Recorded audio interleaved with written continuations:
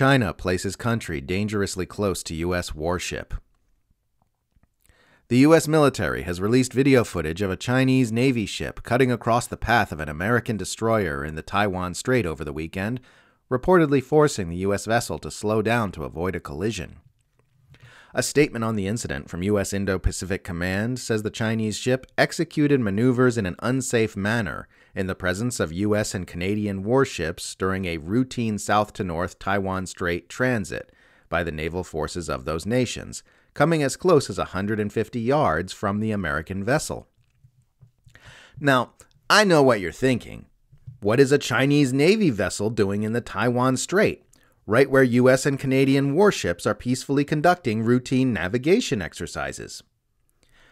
Well, I don't know if this news will be as shocking to you as it is to me, but it turns out that China has somehow managed to place its country immediately adjacent to the Taiwan Strait and is now only 100 miles from Taiwan itself. This narrow channel of water was the only space the US and Canadian navies were given to travel through, placing them dangerously close to Chinese warships and to the country of China.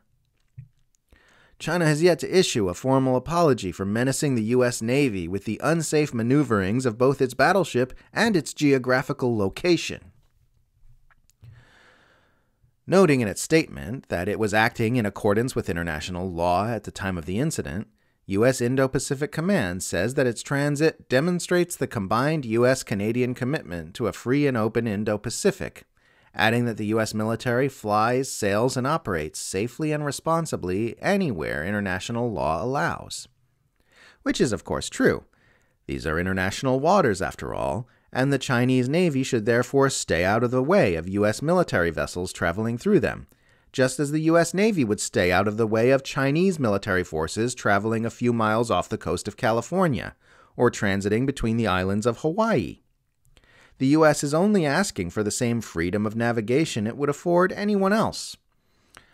We saw another incident of China's aggressive and dangerous terrestrial placement on the 26th of May, when a U.S. spy plane was buzzed by a Chinese fighter jet during peaceful surveillance operations over the South China Sea.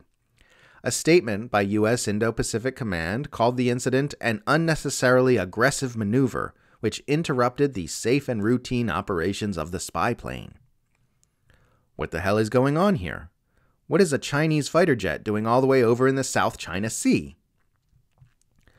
Obviously, Chinese fighter jets have no business operating in that region, especially when their movements endanger the US spy planes who are flying their peaceful missions there.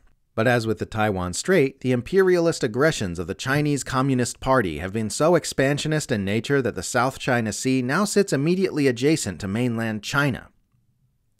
Here's hoping that China stops with its brazen aggressions against the U.S. military forces who are minding their own business in the Taiwan Strait and the South China Sea, stops endangering poor defenseless warships and spy planes by moving through waters and airspace they have no business entering in the first place, and starts respecting the rules based global sovereignty of the United States of America.